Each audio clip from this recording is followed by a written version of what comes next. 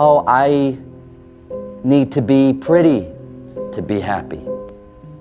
I need surgery to be pretty. I need to be thin, famous, fashionable.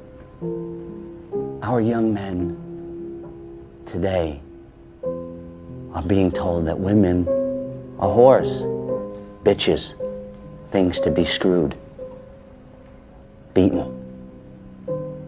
shit on, and shamed. This is a marketing holocaust.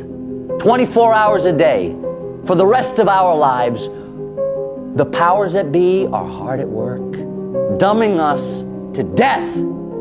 So, to defend ourselves and fight against assimilating this dullness into our thought processes, we must learn to read, to stimulate our own imaginations, to cultivate our own consciousness, our own belief systems. We all need these skills to defend, to preserve